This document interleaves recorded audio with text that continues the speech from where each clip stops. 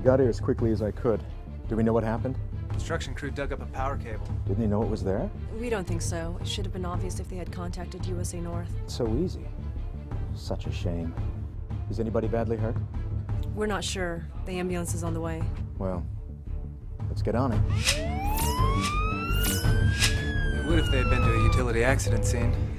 Contact at any point along the system can be deadly. All SMUD's power lines conduct enough electricity to cause serious injury or death.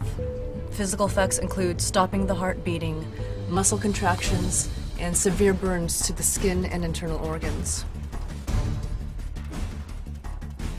To reach USA North, dial 811 or 1 800 227 2600. The call to USA North must be made from 2 to 14 days before your planned excavation. Before making the call, you should locate and mark the limits of the planned excavation. That way, when utility representatives arrive, they will know where to identify their facilities. Utility marks must be preserved for the duration of the job. If any of the markings are not reasonably visible, you must call USA North and request a remarking by the affected utility. It is important to understand the entire proper excavation process. Download this information at www.usanorth.org. Read and understand all specific provisions before planning any digging in SMUD service area. Remember, no job is too small to skip locating underground utilities first.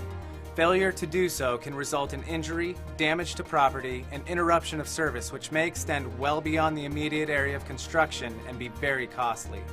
These regulations apply to all property owners, small contractors such as landscapers, irrigation companies, and service providers.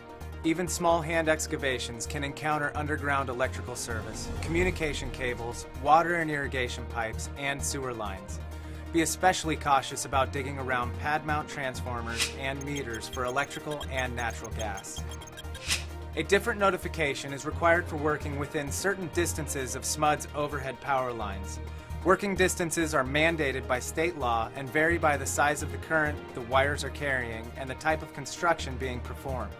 They are enforced by the state agency Cal OSHA. It's been a long day. There's a lot more than I was expecting. Got any coffee? Just made some.